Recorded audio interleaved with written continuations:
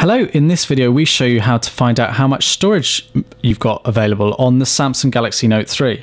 So with your device switched on, from the home screen, scroll down from the notification bar, click the settings icon at the top, and you want to navigate through to General.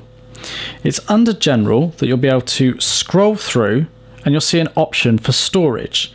If you tap this, You'll then get information on the memory on the device.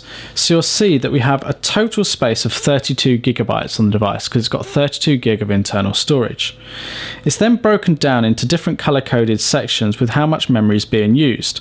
So the system, the operating system, is using 5.64 gigabytes of memory.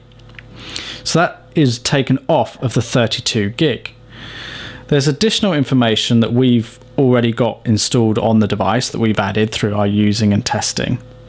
And then we go all the way down to here where it's got available space. So currently available of the 32 gig that's pre-installed, we've got 25.12 gig of usable memory. So that's highlighted just down here at the bottom.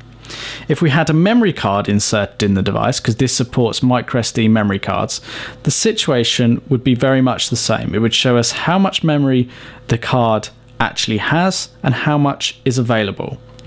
Now with the more content that you add to your device, the more this will change and it will also try and show you what is using the different space. So be it music, you know, files or pictures or documents, they'll try and split that down.